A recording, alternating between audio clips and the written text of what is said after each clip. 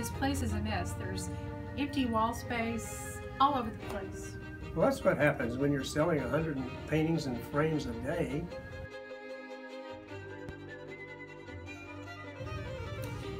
Well, what should we do about it?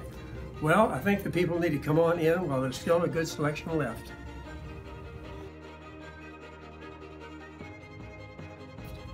Great idea. Even with 75% off in our entire store, we still have a great selection. So hurry in.